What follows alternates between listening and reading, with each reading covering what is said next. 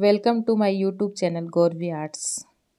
दोनों पट्टियों को अटैच करते हुए पट्टी के एक सिरे को अंगुली पर लपेटेंगे तथा दूसरे सिरे पर सेफ्टी पिन अटैच करेंगे। यदि आप हमारे चैनल पर नए हो तो प्लीज़ चैनल को सब्सक्राइब करें, जिससे आपको हमारे आने वाले वीडियो का नोटिफिकेशन मिलता रहे।